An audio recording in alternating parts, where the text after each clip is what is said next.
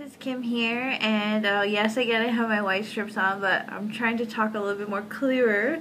But anyways, I have a couple more days till the CBBF competition. Um, as you see, my hair is a little bit of a different color now. It's um, like a dark brown, and um, yeah, I am really excited. I, I got my suit in just today. Today is Wednesday. The competition's on uh, on Saturday. But anyways, it's here and it fits. Thank goodness. I just need a little bit of uh, the bikini bite to keep it all into place. And I have extra, extra, triple quadruple padding in here right now.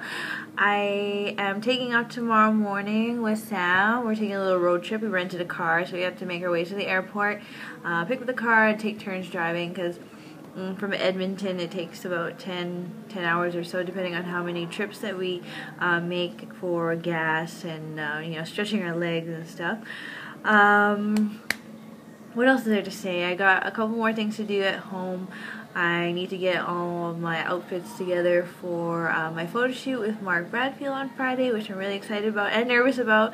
Um, should be uh, should be an experience because it's going to be oceanside, beachside, uh, sand, beautiful background. I hope I'm hoping it's going to be a beautiful day as well and uh, should be really really fun. And I think this weekend is just gonna go by really really fast so oh, I'm really sad already. I know it's to come but um, that is basically all on my mind right now. I think oh there's a phone at Snap here but anyways I think I am I know I am going to bring the best body that I have to date to the stage and uh, that's the best that I can do.